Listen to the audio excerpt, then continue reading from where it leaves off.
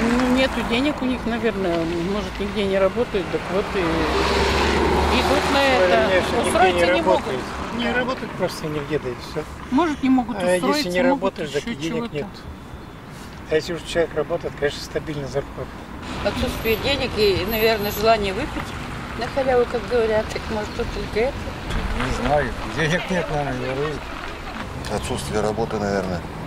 Молодых, то, что родители их урезают в карманных деньгах. Азарт, что заметят, не заметят. Ну, как-то Риск какой-то, да. Все, в принципе, в Коряжме живут достаточно неплохо. Дома что-то не смотрят. На школу валить не надо. Все дома, самодело в доме.